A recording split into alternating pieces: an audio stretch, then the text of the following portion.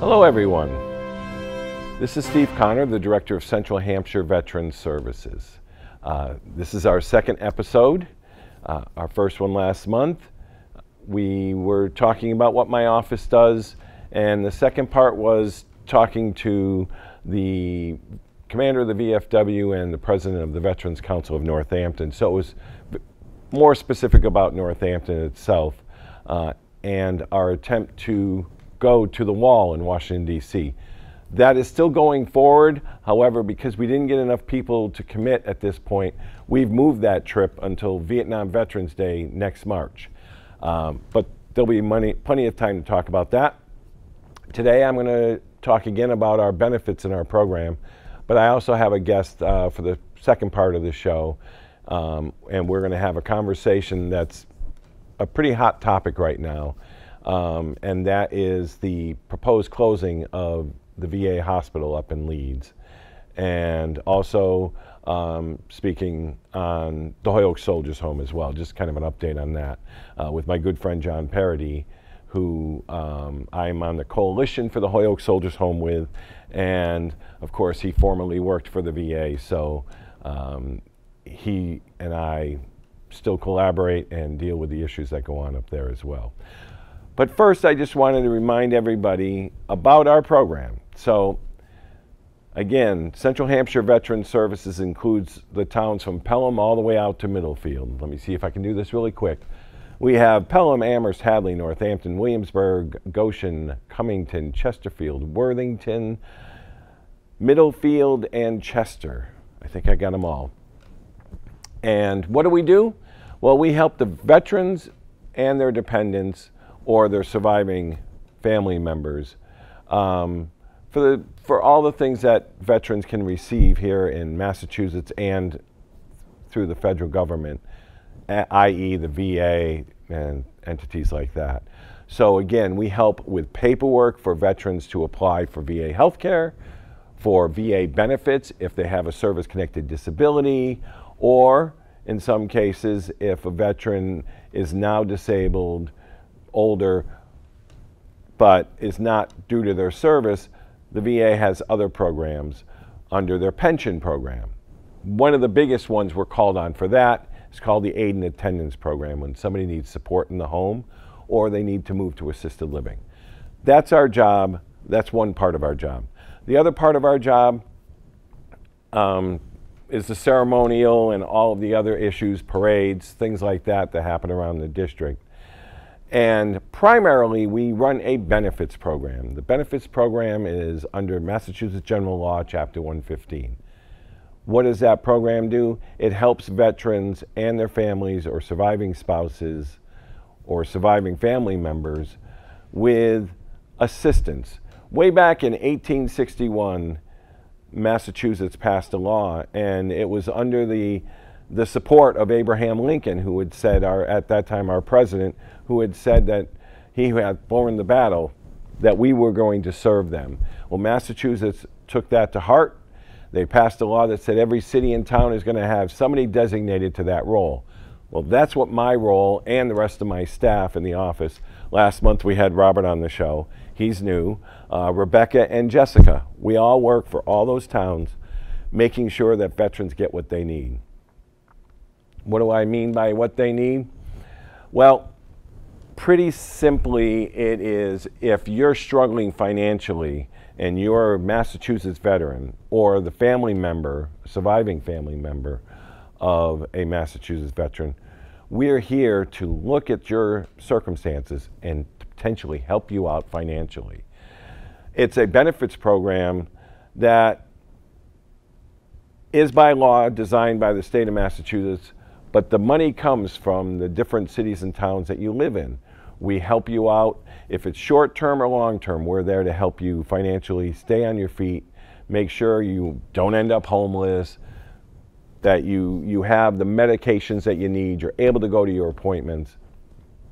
And we do that for anyone who is struggling, especially those that are retired or disabled on fixed incomes. That's a big part of it. So if you are collecting a monthly government check and because you're on disability and you are unable to work and you have limited resources in other areas, as a matter of fact, if you're the easiest way to look at it is if you're 200% of the federal poverty level or below, we are your source for assistance. Depending on what you have in savings, you know, if you have a lot of liquid assets, no. But if you're struggling, that's what we're here for. So I want to make sure that everyone knows it, that you tell every other veteran that you know or their family members that we are here and that's our goal is we don't want any veteran or their family struggling desperately to get by whether it's clothing whether it's rent whether it's medications whether it's getting to appointments we are here to make sure that that works for you there are some qualifying components to it what i would say is you do have to be a massachusetts veteran who served active duty um, for at least 90 days during wartime or 180 days during peacetime. I myself am a, am a peacetime veteran. I served after the uh, Vietnam War, War, was over and um, before 1990 when we then now started a new wartime period. So for those, that 15 years, if you served, lots of times you're either called a peacetime veteran or a Cold War veteran. Um, but that's when I served. So you have to have done 180 days. But if you did and you live in Massachusetts, or the veteran who is now deceased lived in Massachusetts and you live in Massachusetts, we are here to help you. It doesn't exist anywhere else in the country. Uh, it's just a Massachusetts program. But all you have to do is give our office a call. I'll give you the number. It's 413 587 1299 and make inquiries with our staff. Um, or just come on in, make an appointment, and come and see me. Maybe you're just, there's a whole lot of questions and it's complicated and you don't know if you'd be eligible. Ask us, set up a time. Rob or I or Rebecca, we will sit down with you and we will tell you all the things that we have to offer. We don't want people suffering, and for goodness sakes, we don't want anybody outside. We don't want anybody who, has, who doesn't have shelter or doesn't have a safe place to live. Um, the national program to end veterans homelessness started back in 2009, and since then they have cut the homeless veteran population in half nationwide. We have done a great job here in the Pioneer Valley and in my district.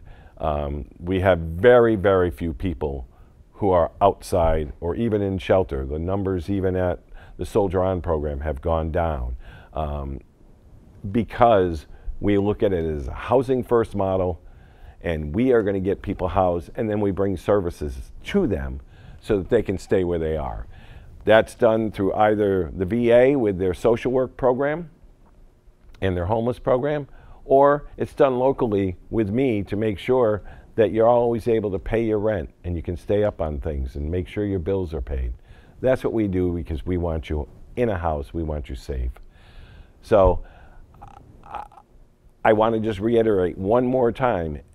Also, if you are a veteran who is out of work and you've run out of unemployment and you're still struggling to get full-time employment, we can supplement your income to make sure that you can stay on your feet until something else comes along. Or if you are filing for disability, we can assist you until that disability comes through.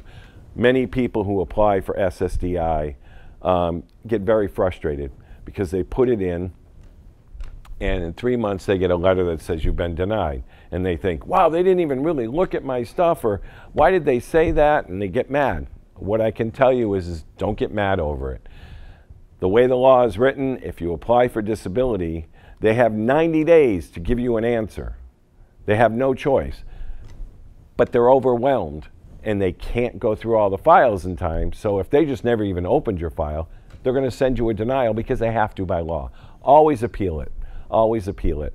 And you don't need a lawyer right away either uh, if it's just if it's very apparent. We can help with that with both Social Security disability and with the VA and the pension program. So there's help out there for you. That's why we exist. That's why they pay me the big bucks or not. Um, and we're here to help you. So please uh, feel free to give our office a call. Our main office is in Northampton, but we have office hours in Amherst, Hadley. We will go to any of our towns. You just call up. We'll go up there. I was just up in Cummington a couple weeks ago to see two veterans. One of those veterans wanted to see me about the topic that we're going to bring up right after this break, and that is about the VA hospital. And he was very concerned because he relies on it. And we're going to talk about that in a minute. But again, feel free to call our office if you want any help. I would greatly appreciate it. We're going to take a quick break, and I'm going to bring my uh, guest in um, to talk about both the VA and the potential closing, and also uh, some talk about the Holyoke Soldiers Home. Thank you.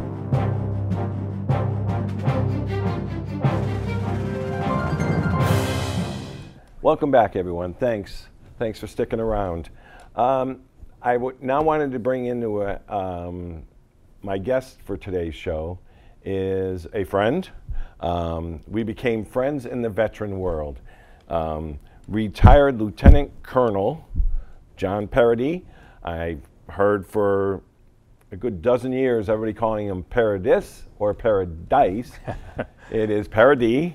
Um, I have half of my family was French. I know which ones letters you're not supposed to pronounce. There you go. And uh, so I know it's Paradis.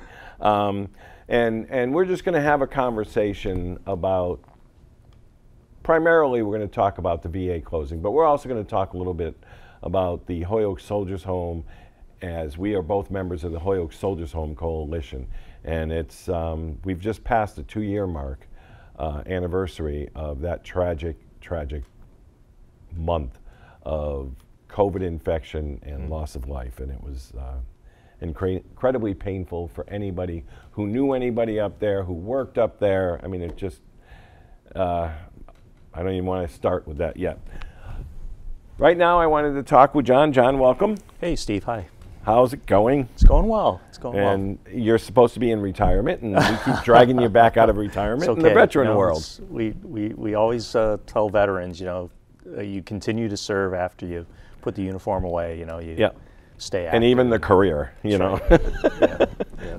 yeah. So, um, yeah, just it, it's weird. I was on vacation, and I remember getting a report that oh, I think you sent an email, and I I was out of the country, and I read the email that you know um, our legislation for the Holyoke Soldiers Home that we've been trying to get our input in for a year now was going into um, what Massachusetts does, which is a conference committee, because the House had a very different version than the Senate. That means they had to decide on how they were going to make it one bill and then have it come out voted on. If it passes, go on to the governor. Um, but I was like, all right, well, we've done pretty much what we need to do. We've been advocating for this stuff for how many Zoom meetings were we on? How many times did we talk to politicians across the state? uh, and the leadership and the administration about what we saw needed. So I was like, wow, that's great. You know, come back. I'll be relaxed, won't have that stress. that was on a Wednesday. Um, I was coming up from South America, so I got back on a Wednesday afternoon. Thursday, went back to the office, really slow motion.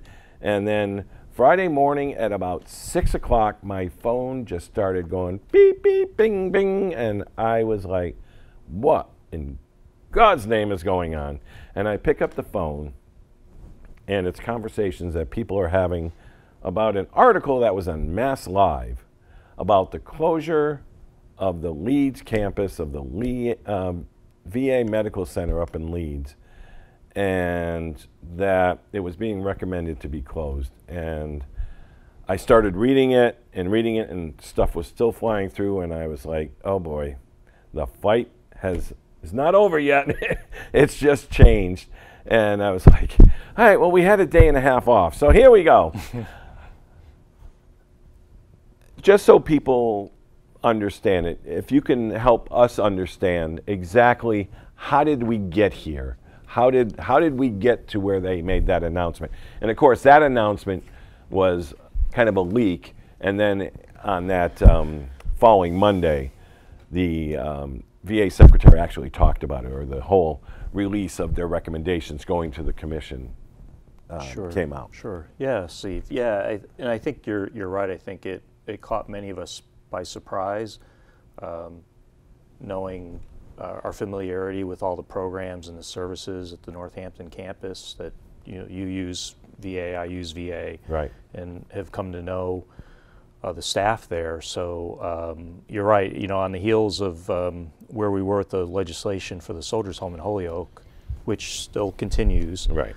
um, it, it caught it caught us by surprise, I think, and um, the news. Um, while it's a long process, and we can talk about that, um, you know, it, it did seem a little bit. Um, it was disheartening, frankly, um, considering the amount of work um, that's been done at VA Right, in right. Leeds. And I think that's every, everything that everybody's been so confused about. Right, right, yeah. So I guess you know um, to kind of for the audience to give some context to this. Um, so for some years now, there's been a lot of discussion about um, retention of assets, infrastructures at various VA medical centers across the country, and certainly everything within the federal government. There's always going to be conversations, and discussions about the budget, right? Right, right. So um, certainly going back to uh, easily now ooh, 10 years ago now there's been this kind of this dialogue conversation in washington about um, how to best manage care uh, for veterans in our country and um, a realization on the va's part that um, they they can't possibly budget wise cover every possible contingency from A to Z for everything that a veteran possibly needs for their well-being. You know, and the VA is the largest integrated healthcare system in the country, one of the largest systems in the world, and is the second largest uh, department in the federal government. It's massive in scale. I think it employs more, you know, healthcare providers than any any entity in our nation. So it's massive.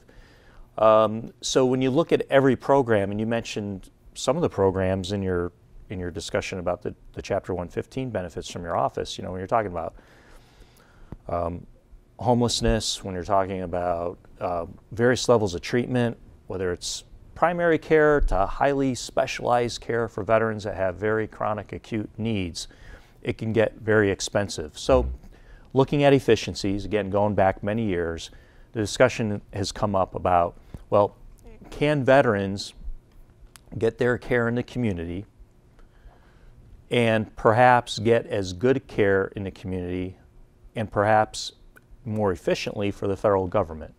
Right. And so that dialogue discussion has come up um, from time to time, and it resulted ultimately in legislation passed in 2014, as you know, the, the Choice Act, Right. the Choice Program, that allowed us as veterans that are enrolled in VA healthcare some options to use care in the community. Um, as you know, Steve, and we lived through that period where, you know, there are a lot of growing pains. In fact, I think the first couple of years, I think by and large, the reviews were very, very poor. Right. Um, providers weren't getting paid.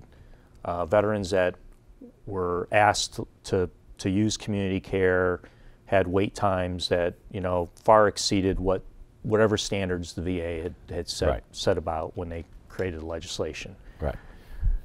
And so, you know, a lot of internal investigations. There are whistleblowers at various VA medical centers. One very prominently out in the Phoenix area in Arizona. We were talking about all different kind of like pencil whipping at the VA level, where they weren't being accurate with access and wait times and things like that. So ultimately, um, and and during that period, there became more discussion about well, w- listen, I mean, the VA can't get this right. So perhaps maybe we should start looking more towards another model of care that would include more outsourcing and privatization than it would be actual care at a VA medical center. But you know, a- a- and and just a quick note on that is is you know, legislation was passed, and they said, all right, VA, do this, and it was something that they had to make up as they went. Like they never did that before, so they come up with a choice program, growing pains for sure, but I think part of it was is nobody was given enough time to get ready to run a program like that.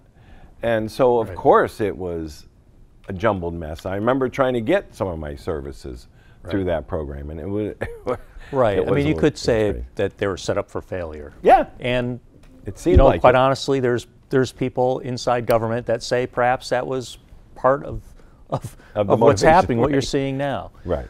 Um, so a lot of behind the scenes, and this has been borne out in um, several media reports, uh, some very thoughtful enterprise reporting uh, by likes of the New York Times, among others. Um, Secretary Shulkin, who uh, you know went to Hampshire College, knows Right, this area right. well, became the VA secretary under President Obama, then continued with President Trump, and uh, ultimately in 2018 they passed the, the Mission Act, which had, had bipartisan support. That was intended to fix many of the issues with the choice program and to give us as veterans further options for care. Um, but all under the umbrella of that it's going to be a collaboration between VA medical centers, um, uh, private sector care, and uh, what they call strategic collaboration. Strategic co- collaboration meaning academic affiliates and, Right. and others, you know, which here in New England we Right. we have a, we have a lot of resources there. Yeah, yeah, go back to, you know, when um, Secretary Shulkin. McDonald, McDonald, right, was right. there, and we went through a thing, and I went to a presentation. How much research is done in the VA with other medical institutions, but the amount of research, it's almost like it's the medical equivalent of NASA when it came to, you know, science and and they would discover stuff for NASA and they say, oh, and then there's a practical use for it. Same Yeah. thing with the VA Yeah. and their research. I had no idea how The much been VA, uh, I, I mean, I worked in the VA and I was an outreach coordinator for the VA, so I know the VA extremely well. Plus, I get all my care through the VA. Right, right. and um, I've had family members that have used the VA. Um, I believe the VA system is great. Is it perfect? No. No healthcare system, nothing is perfect. Right. But by and large, the VA is a ex, is a, a, a extremely um, well, it's veteran centric. Right. that and that, I think that's that's what we're concerned about as we look at what perhaps is being forecasted up to including the closure of the VA Medical Center in Leeds, just a few miles from where we are today. Right.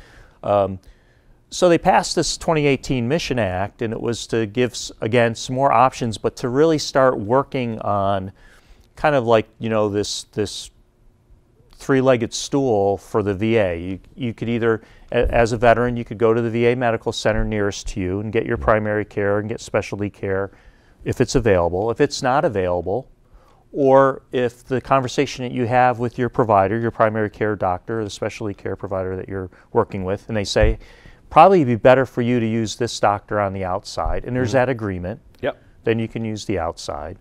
And then the third part is, well, there may be services that um, uh, would be would be better for you to use a strategic collaboration, i.e., an academic affiliate, and we'll shift your care over to that provider.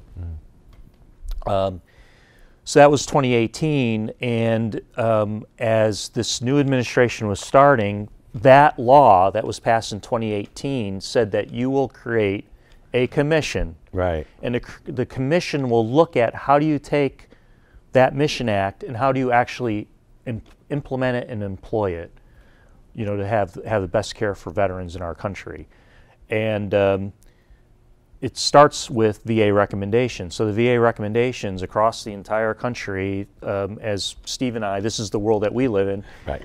The VA is split into regions of called you know Veteran Integrated Service Networks. It's the It took me a while to remember that one, but yes. So and for- we're VISN One. So for all We're the veterans out there, it's much like a major command in your service. You know, uh, Army has a major command, the Air Force they all have the fleet, and the Navy all. So the the VISNs are what really do the work day to day in overseeing and managing the care in the region. So And, and and in that way, also it, and I don't know if it was designed this way. Maybe it It, well, it works this way where, okay, I can't get, all right, I needed to get my knee operated on. Leeds doesn't have anybody who operates. So I either could have gone out and seen somebody in orthopedic, or I could go to a different VA, and I ended up choosing the one up in White River Junction. They said you can go down, there's a guy down in West Haven, Jamaica Plain, or White River Junction. And I picked White River Junction, and they were like, why, why would you do that? You know, it's so far away. And I'm like, have you ever driven down to West Haven, Connecticut? Do you ever drive into Boston in the beginning of a day? Yes. Yes. Yeah. So it might be further away, but it's this nice, gentle drive. So that, but if if one hospital doesn't have it, there's probably somebody else within the VISN that's going to be able to. Yeah, that's a good that need. example, and Yeah. you know, I guess to carry that forward, um, and and I mean knees and and the physical kind of conditions that we as veterans over time have disabilities for. Right. The VA is extremely good at that. I mean, Right. that's that's kind of the their their their core business model is working towards those physical uh, physical ailments. But there are a whole host of things for healthcare that veterans need help with. And so the VA says, okay, well, maybe like your example with the knees, maybe there's some other procedure that you need that, you know, eh, would it make sense for us to do it at the VA Medical Center when you can go to Holyoke Medical Center or you can go down to Baystate, you know, or you could go to another facility in our area and we don't have to pay providers at the VA to do that, right? You can go you can go to the local um, medical center, medical hospital, and get that procedure done. Right. Um, there's plenty of examples where you, I, I think you and I both have used Yep. care in the community, um, directed Just by last the VA. week myself. right, right, exactly. So, um, you know, so this all comes to, so the VA looking at, the- they were told, okay, the, the VA medical center directors at each facility were told, okay, to get your leadership teams together and look at your assets and your infrastructure. Right. What do you do well? What do you do not so well? and look at your budget and where are the efficiencies that you can affect because it, by law we have to provide recommendations to, to congress Right. ultimately to the president um, so this past march that's what's been in the news this uh, asset and infrastructure review which culminated in a uh, series of recommendations all across the country so here um, where we live here in, in Western Mass, uh, those recommendations were um, to shift um, many things to the community or to other VA facilities. the biggest one, of course, would be the closure of the VA Medical Center in Leeds. Um, what they would do is, per the report, would be they would shift uh, what what we know is the community living center, which is a nursing home for veterans, Right. skilled nursing for for veterans with uh, long-term care needs, and that would be shifted to the Newington Medical Center down in Connecticut. right. Um, they would shift um, what's known as a residential rehabilitation treatment program also down to Newington. And you know th- those are veterans that have very acute needs and and that need to be, tr- you know, um, have a level of social services and programs, uh, vocational rehabilitation, uh, might might involve some some level of counseling, treatment programs, up to include substance use disorders, other mental health conditions that they need help with. Um, pretty intensive amount of, of work and effort that is, that is done for these veterans. That would be shifted down to Newington, Connecticut. Um, other things, so okay, so look at what else is up in Leeds and and what what you most intimately are familiar with, Steve, over the many years with helping veterans come up to the. In fact, I, I know for a fact you've you've taken veterans up to Leeds to make that um, that warm handoff and to make sure they're getting the attention they've they've earned and deserve with the VA folks up there. Mental health, right? Yeah. So they have inpatient um, psychiatric care services. They have a nationally recognized post-traumatic stress unit. Um, we can talk at length about that yeah. program and how, over the years, how incredible that program's been. Um, and they've got one of the first women veterans program That's right. in the country started right up That's there right. in Leeds. That's right. And uh, yep. yeah, So they have they have those programs, and all of that would be shifted over to the strategic collaboration that they talk about. And if it's not, so they do preface in the report, and it's you know again this is going to be a long process.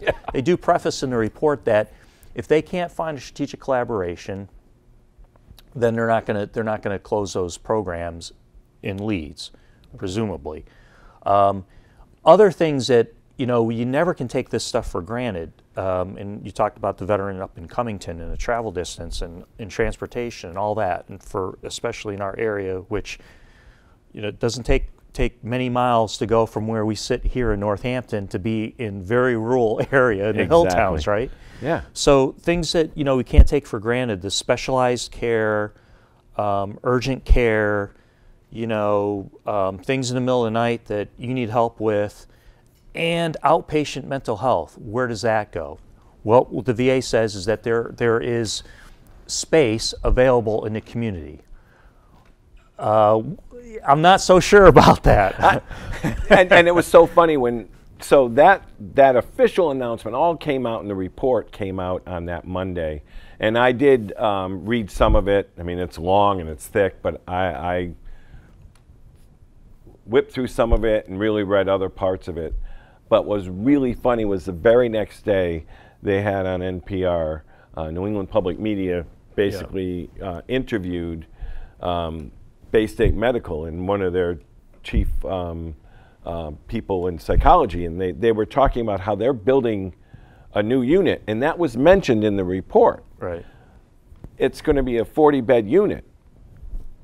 And I was like, oh, okay. And the, then the guy, the interviewer said, um, but I thought you just said that there was a waiting list of currently in Western Massachusetts of need for 50 beds. Yep. And you're only building 40, and Providence closed theirs, and this one closed that. And so, how is that going to work? And he goes, Oh, yeah, there's still a huge need. And I thought, okay, so we're talking on the civilian side, they still can't even meet that need.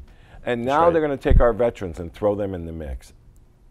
I don't know how they're going to do that. Um, Right, we're- right, right, right. It means our guys are going to be left on the side of the road. Uh, th- yeah, that's the way so I feel. So this is where we are now, where we're now grappling with the reality that you have this facility that for years has provided these services, and just as you said, S- Steve, and I think that is where you're starting to get, you know, the the the critical analysis that absolutely needs to take place is. Um, these these figures that they use are as of fiscal year 2019, so they're already now about going on three years. old, right? Um, they talk about a declining veteran population. Um, they also recognize that there's going to be an increase in demand for um, urgent care services, for some specialty care, and also for most certainly for long term care, which really concerns me. Um, you know, we, as, as you and I know, in working with um, on the Holyoke Soldiers Home Coalition, with my background at the Soldiers Home, and you over the years working uh, with your own family, plus Right. going up to the Soldiers Home so many times, you know, there's a, such a huge need for geria- geriatric psychiatry, geriatric psychology services. Right. Many veterans, as a as they age, a lot of things that um, the trauma in their lives and and other things based on their military service come come to the fore as as they get older, as they get towards end of life. Right. They're looking for closure in their lives and the hospice and palliative care aspects of their care is much different Yeah. than um, our counterparts in the civilian community. So when they start thinking about, well, you know, we can take what is 28 beds, you know, 30 bed Unit, capacity for the VA Community Living Center, the nursing home in Leeds, and we can shift it down to Newington, Connecticut. That doesn't recognize everything you just mentioned. Well, okay, so they're going to build a new uh, Baystate, which is excellent, that Yeah. much needed It's very needed. a behavioral health facility, Lower Westfield Road down in Holyoke. But, but you know, it's not going to even become close to meeting the, the demand that's out there for, Right. for mental health services. And then just what I've called a tsunami wave that's going to occur very soon. You can talk all day about declining numbers, but we know for a fact that the post 9 11 veterans eh, will have more comorbidities and more chronic health care needs than any previous generations. And that's going to come at the same time when our Vietnam veterans are going to start Are approaching, aging, they're going to be in their 80s, and they're going to need it. They're going Right. to need the care that they earned. And Right. what I think was most infuriating about this report, and you and I saw it last week at uh, the VFW post in Florence, i- are these Vietnam veterans that have fought their entire lives to get decent care. Right. And now they're at a point in their life where they absolutely need this care. Right. And the VA is saying, well, you know what? You know, we're going to send you down to Connecticut Right. or you know we'll see if we can find we'll see if we can find you a, a, a spot yeah, yeah. somewhere else in the community Yeah. and that and that is wrong Yeah, that is eh, wrong you're- and you're so right. Yeah, and, and what he's speaking of is um, last Wednesday, we had our congressman, um, Jim McGovern, um, asked my mayor and myself if we would organize a speak out so that we could um, hear from veterans. He really wanted to hear their stories and take that to the secretary of the VA, to the president, to whoever would listen about how important it is up there. One of the things that's always, the VA even has a magazine or a newsletter that I actually um, get, and it's all about rural veterans and how the VA is really trying to meet the need. You know, yeah, you're right. I have a veteran in Cummington. Now, we're not in Montana or Wyoming, but we still don't have and don't usually have access for long trips all over the place. I've had I have several formerly homeless veterans who live in Amherst, and I try to explain to people they don't have a car. They were homeless, we now have taken care of them. They're inside, but they still can take the bus from Amherst and get up to the VA to get appointments, to get their care, or whatever. If you're going to move them down to Springfield or who knows where else, how are they going to get there? It, it takes you three hours to get to Springfield on a right. bus because you have transfers in Northampton that takes you an hour before you get the other bus. I mean, it, it never mind coming from Worthington and Chesterfield and how those folks are going to get. And the fact that, and I love this one, is that, you know, a lot of my veterans in the hill town say, well, I don't go into the city.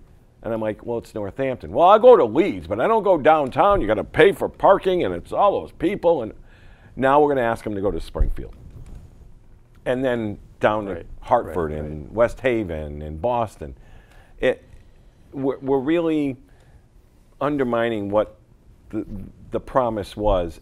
And yeah, you're right. The hardest one is the Vietnam veteran because, again, we all know our history. When they came home, I was a kid, but I watched neighbors, I watched friends of the family came home. They weren't appreciated. Uh, you know, not everyone was spit at or whatever, but they still weren't appreciated and they fought for years and some of them just never would go and then all of a sudden with the new wars and the and especially that place up there really Right. turned it around That's right. and became so inviting and finally Vietnam veterans were going up there and they were finally getting the care Right. because they're retiring or you know they're getting older and things are changing their bodies are changing psychologically things change and they were going up there and now they're going to pull the rug on them yeah that's the way it looks like for me who's not Right. been in the administration of it whatever but that's just the way it feels like. And that's the way it feels to them. That's why the guy called me up into cummington he says what am i going to do if they go right. away? Yeah and i think you know why this was so disheartening is because of the decades of work um, and the evolution over time into building a model that works up the VA. You know, you heard, uh, and you've worked over the years with Soldier On as I have, and when you look at a housing first model right and helping veterans, I mean that that's the model there that Right. that people look to. You have um, they they live in a a wonderful apartment. Right. They have There's access. 36 individual apartments, and Yeah. they've got their own space. It's their They have their own their space, thing. and it's Yeah. and it becomes a family. They Yeah. rely on one another. They volunteer up there. It's a community. Yeah. And they have access to health care, and they have access to the social services, and they understand broad, more broadly our community that we have here in the Pioneer Valley. So Mm-hmm. you know they're comfortable with the community. They're comfortable with the transportation. It works yeah. And and and it works to the point where the VA has has put in you know upwards now of a hundred million dollars into that facility to upgrade Right. buildings Yeah, that's the other thing they didn't pick up on. I mean, they said that it needed 125 million dollars worth of repairs over whatever. Well, they've already spent already- 100 million. right right Anybody who's been up there, and, and folks, if you're a veteran and you haven't been up in a while, just take a drive around. There's hardly any building that's been untouched at this point. right They've right. all been rehabbed. Everything that was underground was tore up. There's all new piping in there. I mean, it's right. great up there. yeah Yeah, eh, and and we're going to make the argument. We're going to work really hard to make the argument with Congressman McGovern, hopefully Congressman Neal. We know our two senators have said support, and everyone wrote a letter and said they were supporting of it. that's right But you know, it, they're building a new facility down in Springfield, anyways. Um, much needed right, right. absolutely much needed Very much like what they did in Worcester. They're talking about doing the same thing in Fitchburg. They've already doing it in Leeds. They don't need to close it. What are they going to do That's after right. they close That's it? I mean, it's not like they're going to have a garage sale, or if they do, that'd be a tragedy. It, it's, and most importantly, like you said, the PTSD ward. That is, I've had guys come from Montana, Louisiana, Arizona, just to go to that program. It's that good. And it's one of the reasons I think it's that good beyond the staff, which is fabulous. And I graduated with high school with a guy who's Mm-hmm. been working up there forever. And they're great people up there. But it's on a quiet, bare hill. Right. And if you want to go outside for lunch in the summertime, you sit out on a picnic table and you're hearing birds. You're not hearing sirens. You're not hearing traffic. You're not hearing people yelling and the stress that you're going to hear if you're in downtown Boston. That's right. That's right. You know, Yeah. uh, or any many of the places. So uh, yeah, there's so many reasons. Yeah, it, you know, to me, it comes down to three things. You have um, a a residential uh, model that works, that has been a proven model to help veterans with chronic homelessness, to have wraparound social services, and that's in Leeds. You have a nationally recognized post-traumatic stress unit that Vietnam veterans over time really built that program to where it is now. Right. And are they're seeing post 9/11 veterans have for some time now and will Right. we God God willing for the f- generations to come. Yeah. I'm very concerned about that. And then the third part is for veterans that just need, you know, any any day of the week, we don't know what we're going to need for health care. Right. Many of us that have disabilities, you know, I, I rely totally on VA health care. So um, next week, I have to go down to West Haven because the, the care isn't available in Leeds. So it's a whole day. I'm retired, I can do it, and I have the means, I have a vehicle, but not everybody does. And if you're a veteran in one of the hill towns, you're adding exponentially Yeah, the some travel and members gonna have to drive them down to Leeds, make sure that they're on a van at 6:30 in the morning to get down to West Haven or out to Boston, right. where their appointment will be at 10 o'clock if they make it in time through the traffic. And we heard time after time last week, guys going, and then you have to stay there till 4 o'clock until they pick you up and bring you back Right. home, and your loved one comes and picks you up by the time you get home, it's dinner time. By the time you get back to Chesterfield, and you're exhausted for one appointment. Right, right. And and for for things that perhaps are a little bit more routine, they're going to say, okay, hey, you know, there's a, uh, um, you know, a minute clinic or, or whatever. There's a provider downtown on King Street or somewhere else, a locale that's nearest to you. Go there, tell them you, you know you're enrolled in VA healthcare, and they'll take care of you.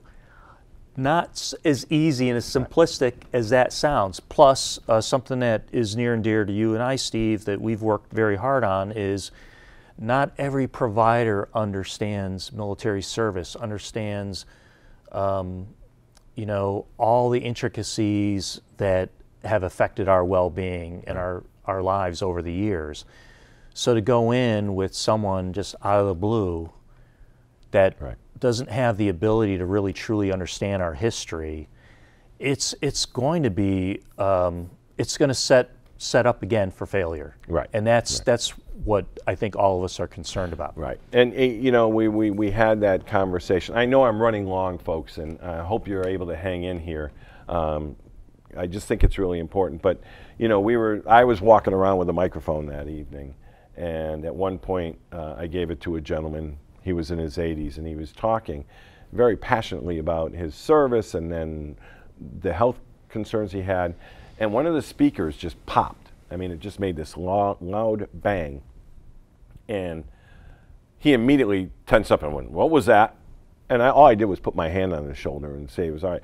But I had people comment and say, You knew right what to do. And I'm like, Well, yeah, because he's a veteran. A noise like that is going to make you think something different than it might be to somebody else.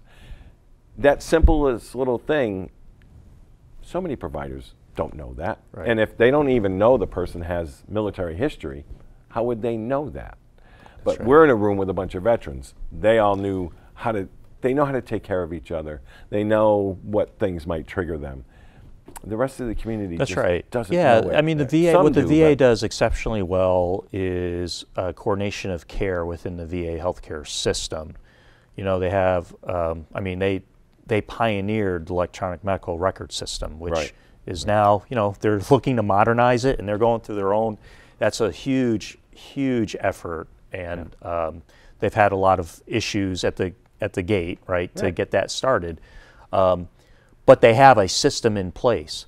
Um, the interoperability between the VA and these outside systems isn't there. Right. So you know, faxing records over, and you know, I've there's all sorts of memes out there about how that doesn't work. Right, The- right. You know, in some cases, the healthcare providers and uh, the VA doesn't have the records to send to the to the healthcare provider. So there's all these pitfalls that to assume that it's going to work Yeah. is Well, just like in 2014 when they came up with the choice thing, they said just implement it; it'll be fine. right, right, It- right. It's just. I, I served on an aircraft carrier. You can't turn those around. That's absolutely, quickly. Steve. Right, Yeah. right, right. And- and you that's can't do that thing. quick turn right. just like that. And That's we're talking true. the most, the largest, as you said, healthcare system there is. Right. It, it, it works, but you can't ask it to just change overnight. That's right. And just like when I started, it felt like Leeds was like this sleepy little place that employees were just up there to retire. And now it's a dynamic. That, that was the other thing I wanted to say is you were you were talking about how the Vietnam veterans made that PTSD ward what it is today, and you're right. Very much like the female veterans have made that women's network program up there what it is, and it's one of the best. And there was women up there testifying of what that means to them to actually have somebody say, "Wow, you're female and you're a veteran and you have unique issues, health issues, all the concerns." And they built that program, and it is good, and it's Yeah, and They to hear it's better than you know to hear they've gone. hear uh, the, the women veterans at uh, the listening session last week say that uh, if it wasn't for the provider at the Mm-hmm. VA, I wouldn't be here today. right. and the care how how great it's been. You know the the um, the women's health care program they have in Leeds. Um, so what happens now? You know, you, the unique needs of these female veterans in their service to our country. You can't you can't put a price tag on that. You know, it's it's the the upsetting thing is that when they come up with these recommendations, they base it on strictly on on numbers, Right. and the numbers aren't even accurate. So, um, and as as Senator State Senator John Velis has said, we don't know what we don't know. Meaning, if you look at the world and you look at the daily headlines, it's a dangerous world out there, and um, who's to say next year or two years from now that we're not embroiled in whatever major conflict, Right. of which there are plenty of concept it- of operations that the, Yeah. that the Department of Defense can pull off the shelf and say, we're going to war tomorrow with Right. this adversary. Right. Right. We just have And again, we don't have really selective service. We don't have a draft. Right. And as we've talked about, the, the people who have served since 9 11 didn't just serve one year. You know, they didn't go to France or whatever and do their year or two years and come back. They didn't go to Vietnam the year they got drafted and they come back and they get on with their lives. All of the stuff that those veterans went through, we know, we've watched it, we've witnessed right. it. But we have people going back two, three. Actually, one of the women who was talking about the cancer she had at that speak out, uh, when the last time, I don't even know if it was the last time, I think it was the last time she came back from overseas. She had served in Iraq. Um, Mayor Higgins had sent me down with a, a, a plaque or whatever to honor her. But her and her husband at that time had served six times overseas, and you're like, how do you do it and keep it together? right, right. And of course, now she has cancer, and you Yeah. know she lives here in Northampton. It, it's You're yeah, not you're not going to serve any time in in these parts of the world and not come back um, the same. Right. That's this is the bottom line. You're going to need attention for the rest of your life. Right. You know, for if you're serving in these areas multiple times, and like I said, Steve, I mean, there's Iraq, Afghanistan veterans have gone over close to a dozen. I think there's even some cases even more than a dozen times at one year or longer periods. Um, so, you know, what we need to do as veterans, all the veterans that are watching tonight, is Right. look at yourself, your your own personal experience, your own journey that you've had in using VA healthcare, or those in your family, loved ones, aunts, uncles, parents, grandparents, and say, okay, you know, if this goes away, what's going to be the impact? And and may or may or may not have a lot of impact on you. Maybe you think you're relatively healthy, right? Right. Maybe you're okay, but no. for for that brother and sister that you have in the community that needs help, do it for them. So you need to speak up. You need to, you know, write a letter. You need to tell your story. You know, Representative McGovern told us last week, right? He said, "I need your stories. Right. I need your stories. I'm going to accumulate all your stories, and I'm going to make sure it gets to Secretary McDonough, the Secretary of Veterans Affairs, and I will go to President Biden if I have to." So we are very fortunate in our region that we have such strong support. You know, Congressman McGovern's behind it, Congressman Neal's behind it. All the st- state senators and state representatives in our Right, area, they're right. solidly behind us. So, what we, what can we do to help them? We have to tell them how the, what the impact's going to be. Right. Um, that's we, we and and you have to be um, you have to be bold and you have to be forthcoming with what the what the consequences are. Can't take any of this for granted. Yeah. My fear, um, and I've heard it working in the VA. I would hear from time to time people. I would say, well, you know what? Well, We'll just get a give every veteran a card, Yeah. right? And let let him or her decide where they want to go. And I bet you we could probably do it better on the outside than we can do in the VA. Are you kidding me? This is the VA healthcare system that pioneered some of the biggest advances in in the in, in the medical world. Um, does more research than any other entity, trains more doctors and nurses than any other entity on the face of the earth, Right. and you think you're going to do it better and more cost efficiently on the private side, Right, it, right. it ain't going to happen. Well, a- a- and and Karen, the community. I mean, if you ask, and, and I know they've done surveys, there's been studies done, and any veteran that I've talked with who has used the VA, has enrolled and has used it, they don't want to go into the community. They want to be able to go to their place where they're comfortable to get their care. Are some of them forced to? Yeah, because they've limited what they have access to. But, you know, and that's Congress playing games with the budget. But really, most, all the veterans I deal with, they want to, their first choice is, I want it here. That's right. Like I say, I went to White River Junction. I don't mind if I have to go, but I have the means. But you take that place away, you're taking that away from a whole lot of veterans. Yeah. Yeah. Um, uh, and you're right. People and people spoke out and gave their stories. Some of them were very passionate and heart wrenching. Um, and yeah, people just have to keep doing it. Yep, now's the time to speak up. I mean, Yep. where they're in that process now where they're collecting all this data. And uh, ultimately, this commission, I think the commission has until February next year. So there's not really a lot of time. And they still haven't picked the last member. no, they I still they still haven't. I get. I think actually created their commission yet. so they have a short amount of time to get all this data out. Right. And then um, there'll be a review, and it'll be a thumbs up or thumbs down. It'll be up to ultimately up to President Biden. But um, the best way that we can help ourselves is to speak up. Yeah. You know, um, we need to do that. So if you're out there, you gotta gotta talk to talk to your congressman and get the information over. There is we, strength. we, there we've is strength talked really long on this. Yeah, I'm sorry. Yeah, I, I just I know we've talked long on this, and um, we haven't covered everything. Um, but it's just it's really important to this area, and so I thank you so much for coming on. Just um, a quick wrap up. We're both on the Holyoke Soldiers Home uh, Coalition.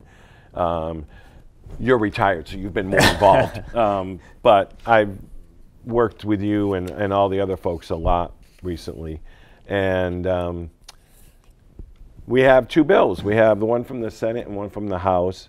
You and I and the coalition have our preferences on which one, which is the Senate one. Um, but, uh, you know, everything's kind of staying there. But, but the reality is, is we did win the argument with the building. We're getting a new building. Hallelujah for that.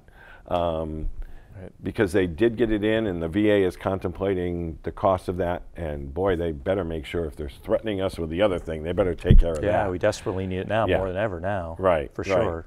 Um, anything big happening outside of? Uh, Yeah, so you're right, Steve. Uh, you know, the, the big effort um, going into this calendar year was to make sure that um, the state had everything they needed for the bond bill. Bond bill was success, successfully passed unanimously, and um, you know, I think we're, we're waiting to see where it is on the VA priority list for funding because it's that Right. 65, 35% formula where the federal government picks up, you know, the 65%. So it's a great, it, it was absolutely necessary that, that the state did that and unanimously passed and the governor signed it. Um, but that's the brick and mortar piece, absolutely needed. But you need to have the right governance and oversight. Right. So that's been a long. I mean, we're going now two years, like you said, from the anniversary of the outbreak. Uh, where m- more than 80 plus veterans passed from COVID. Uh, you know, I'm hearing the numbers are even higher than that. Yeah. To prevent that occurrence from happening, you need to have the right safeguards, and that includes the best governance and the best oversight. So, um, with all the testimonies, inquiries, investigations, it's culminated into a legislative package, a House version and a Senate version. There's some similarities, but there's some distinct differences.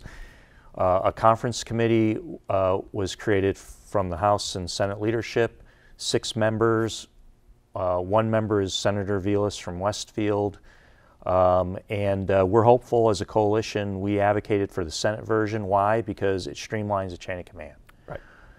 If there's, you know, anything that was blatantly obvious from the investigations inquiries that the chain of command was so convoluted, no one knew who was in charge. You know, Right. it was so unclear. And when something as um, overwhelmingly disastrous as a worldwide pandemic hits a long-term care facility, you have to absolutely know who's in charge and who's going to raise the red flag and get help.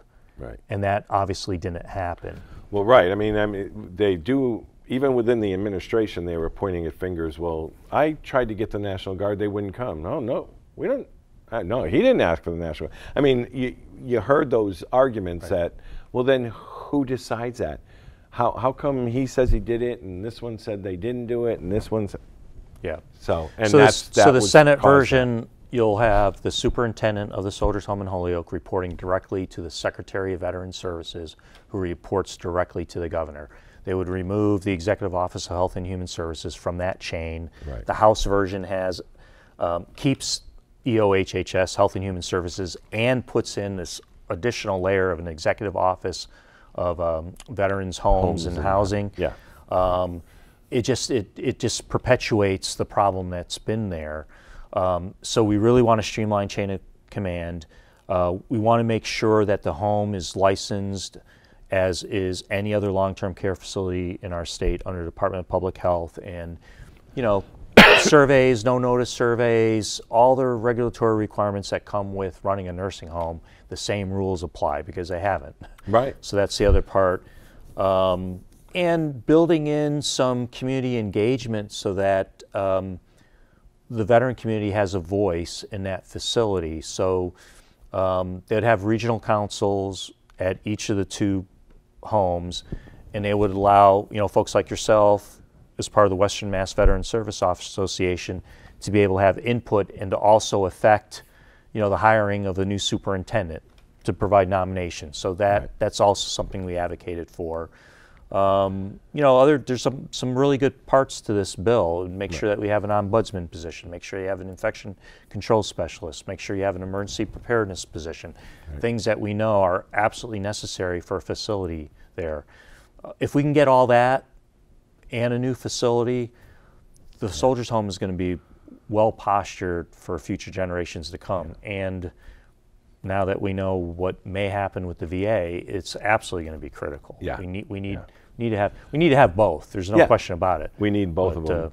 uh, and and and it does feel like, and I, I tell that to my colleagues on the other side of the state. You know, you think we're all paranoid out here in Western Massachusetts that we don't get anything, but look what I've been fighting over for two years. You know, our soldiers' home, the one in Chelsea, was without a problem.